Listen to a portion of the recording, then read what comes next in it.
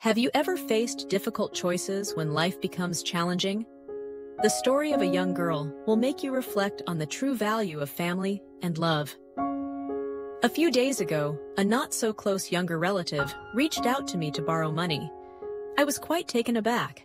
The last time we spoke was three years ago. But there must be some dire circumstances for her to seek me out for a loan like this. Her father has been suffering from heart disease and his condition has deteriorated, requiring immediate heart surgery. The cost for the surgery amounts to 12,000. For a long time, the relationship between her father and mother has not been good. Her father works as a construction worker, earning minimum wage. Every week, he would go out with his buddies to drink beers, and after every drinking session, the house would become noisy. However, this noise comes from the arguments of the couple, who have been fighting for decades since she was little. The house has always been so loud. Her mother often shouted at her father, saying, You should just go away! And the statement she heard most from her mother was, Your father doesn't even care about living, so you need to work hard to change your life. Yet, when her father fell ill, her mother was the one who worried the most. For several days, her father couldn't eat or drink anything, and he lost a lot of weight. Her mother, who used to be criticized by her father for being too fierce, suddenly became gentle. She tried everything to coax her father to eat more so he would have the strength to fight against the illness. After facing her parents' arguments for so long, she has always felt that the older generation's view of marriage is very outdated. If they don't get along, just divorce why must they endure each other? But now, she envies and deeply admires her parents' marriage, which is one that lasts a lifetime with only one partner. She has just graduated from college and hasn't found a formal job yet. Throughout her four years at university, her parents had to borrow money from their savings or relatives. Now, there are no savings in the house. Immediately coming up with such a large sum of money is almost impossible for her family. Both of her parents are aging and weak now. She has to find ways to borrow money from friends and acquaintances.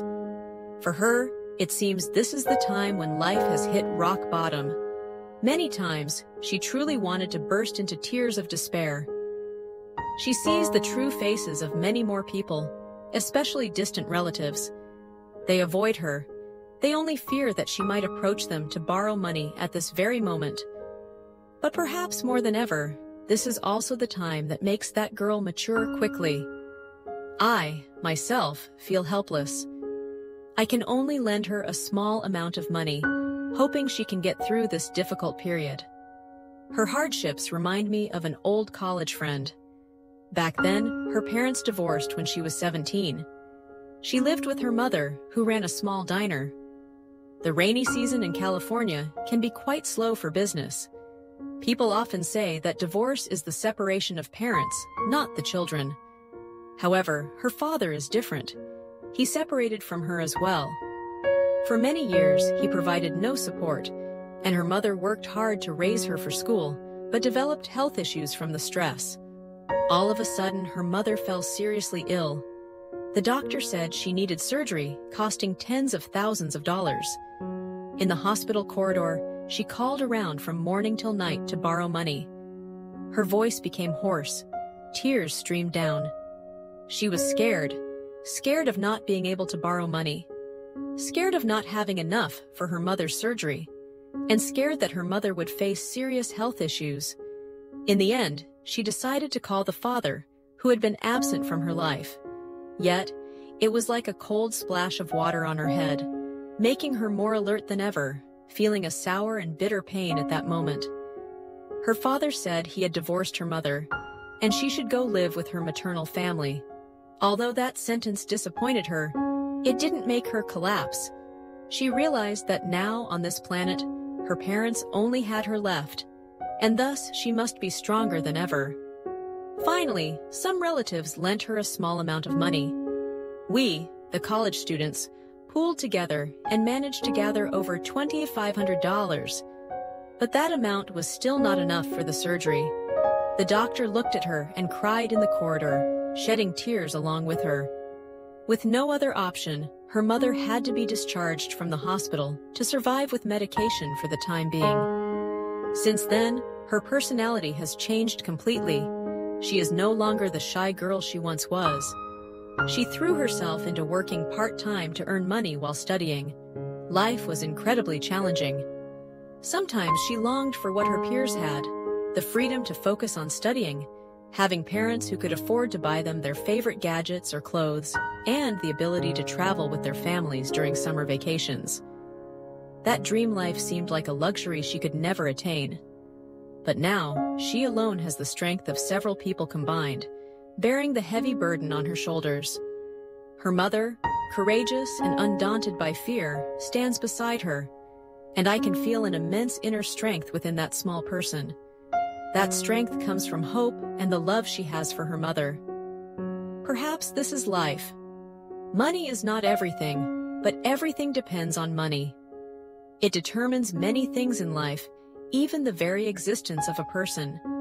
To earn money, we cannot rely on anyone, but must depend on ourselves and our family, which serves as our motivation to strive and move forward. Some people say that parents are the wall between us and death. While our parents are still present, we often see life as beautiful, but when they are gone, we realize how fleeting life truly is. I still remember that in the novel, 100 Years of Solitude, it also mentions that we and death may only be separated by a veil. Parents are that veil. We do not perceive death because our parents are always there, shielding us. The loss of relatives, friends, or neighbors does not impose direct pressure on us. But parents are different. When they depart, we feel the sharpness of death in a very tangible way, no longer just an abstract concept. In our rebellious teenage years, we often do not listen to our parents and frequently clash with them, sometimes even wishing to be alone. As we mature and step outside into society, we learn to be patient and humble with strangers, yet we do not learn to be patient and gentle with our parents. Only when they depart from our lives forever do we realize our connection to this world has become more fragile. We often think that life is long, but in reality, the harshness of time and the brevity of life will never wait for anyone. Therefore, while we are young, do not be lazy. Strive to earn plenty of money and transform yourself into a capable individual. In critical moments, money remains a solid shield, a key factor in solving many pressing issues. To be strong and face the storms of life fearlessly, you must equip yourself with a stable financial foundation protecting yourself and your loved ones from unforeseen circumstances. Do not wait until life splashes us with some cold water before we wake up. Similarly, do not let your parents fall ill due to a lack of money, leaving you powerless to protect them. Please remember to make an effort to earn money so that you have fewer regrets later on. Secondly, always remind your parents to take good care of their health. Exercise with them daily guide them on proper nutrition, and take them for regular health checkups. I have a close friend who has achieved financial freedom at such a young age. When his father passed away, he told me one thing. Although the pain of losing my father will linger, the only thing that gives me joy and eliminates any remorse is that while my father was alive, I had enough financial means to take care of him, providing him access to the best medical care and support. This is fundamentally the meaning behind our hard work and dedication to earn money. We cannot wait until our parents need us, only to have nothing but tears to offer them. This is the reality of this world.